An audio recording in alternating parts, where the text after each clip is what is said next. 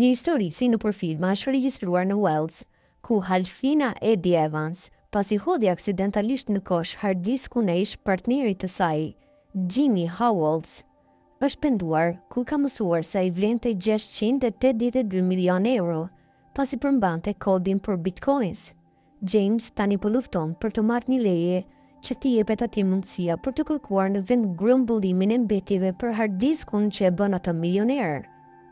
Ai kishte nisur të blinte Bitcoin që në vitin dy mijë e nëntë dhe ndërkohë kishte harruar plotësisht llogarinë e tij me kriptomonedha.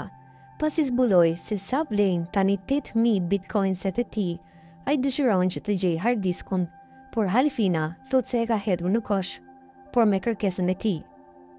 Disku përfundoi në plehra nëntë apo dhjetë vjet më parë dhe çifti u ndan ndërkohë, pasi James eksperimentoi me kriptomonedat për javë të tëra në vitin dy mijë e nëntë, ai ndaloi së bëri atë pas ankesave nga Halfina.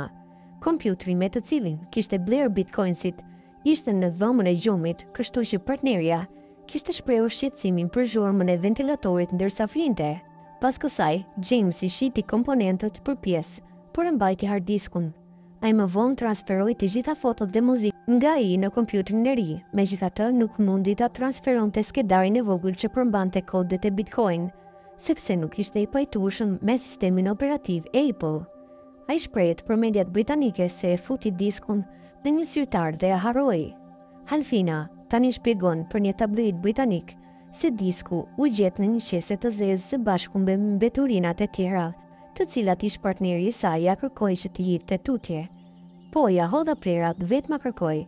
Nuk e kisha idenë se çfarë kishte në çantë, me dëshirë e lashë në landfill. Duhej të ishte përgjegjësia e tij, por doja ta ndihmoja. Shpresoj ta gjejnë sepse do ta mbyll gojën. Nuk dua asnjë cent nga paratë e tij. Unë jam e sëmurë dhe e lodhur duke dëgjuar për të.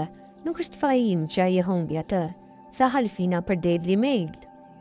Landfilli tani drejtohet nga Këshilli i Newport dhe ata refuzuan t'i jepnin Jamesit leje për të kërkuar në atë zonë, duke përmendur lejen mjedisore dhe efektet e mundshme negative në mjedis. Ai u ka ofruar edhe një donacion prej dhjetë për qind të të ardhurave nga bitcoin-et e gjetura, por ata nuk e kanë pranuar.